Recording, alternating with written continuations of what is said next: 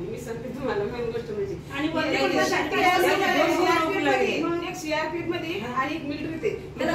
मी पुष्पा भगवान गवई राहणार वडगावमाळी तालुका मेकर जि जिल्हा बुलढाणा. आम्हा माझ्या गावामध्ये वडगावमाळीमध्ये दोन घरं असे दारू विकतात की ते राजरोशनमध्ये गाड्या येतात आणि दारू विक्रेती करतात. सकाळपासून जे माणसं गावामध्ये येतात.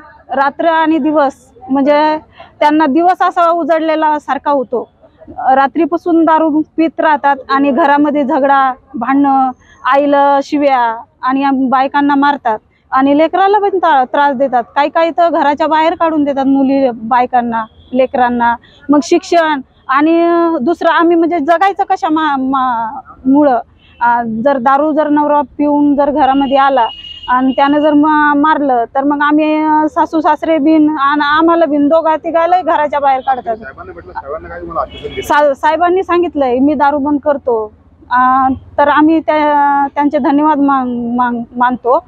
कारण ते म्हणले की हा साखरखेडा.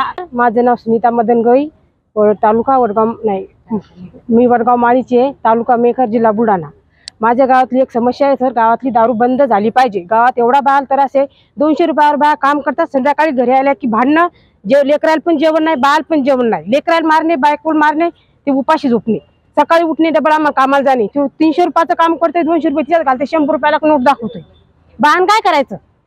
काय करायचं बाळानं? काम करायचं का काय करायचं? आम्ही काम करतो आम्ही कसं राहायचं? काय बांधलं? आम्ही फाशी घेतो काय बाया म्हणजे गावात असे गेले सर. हो. बाया? आमची मागणी एवढीच आहे की आमच्या गावातली दारू बंद झाली पाहिजे बस. बोला. माझं नाव सावित्री सागर गवई माझ्या गावाचं नाव वडगाव माळी तालुका मेखर जिल्हा बुलढाणा. तर माझी एकच मागणी फक्त माझ्या गावातली दारू बंद झाली पाहिजे. त्यामुळे सर बऱ्याच महिलाला खूप त्रास आहे आमच्या इथं. तर आमच्या पूर्ण महिलाची बचत गटाची सगळ्या महिलाची एकच मागणी फक्त आमच्या गावातली दारू बंद झाली पाहिजे हा खंदारे वडगाव माळी तालुका मेकर जिल्हा बुलढाणा. काय समस्या तुम्हाला? दर दारू पिते ते? आणि मारते ते बांगडे गेले फोड्यात ते काही. दररोज मारते ते. फाशी घेते ते काल मी. आता तुम्ही साहेबांना भेटायला साहेबांना काय आश्वासन दिलं सांगितलं ना सांगितलं त्याला